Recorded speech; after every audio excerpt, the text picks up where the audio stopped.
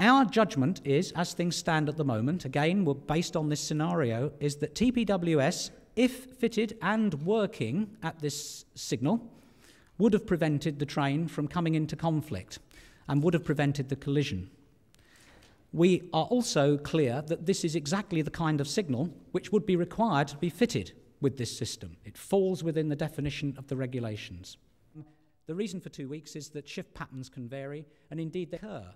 If this does turn out to be, um, in simple terms, if people say this is an error, somebody made an error, why is it that people make errors? Nobody makes errors for, for, for no apparent reason. I think anyone who says that a driver you know, is, is careless or they do things deliberately, they don't really know what the situation is because in any situation like this, the person most at risk in any of these accidents is the driver himself or herself. And I don't believe that any driver sets out to be careless. I don't think any driver sets out to make mistakes. So why sometimes, and I'm not saying that there was a mistake, I think, at this stage, I'm just saying that the whole arrangement which puts people in this position, obviously from time to time, leads to failure. And it's not just human failure or equipment failure, it's, it's a failure of the circumstances.